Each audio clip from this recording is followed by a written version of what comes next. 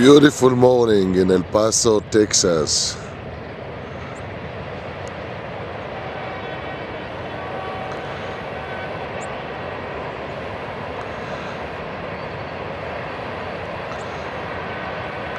What a beautiful day.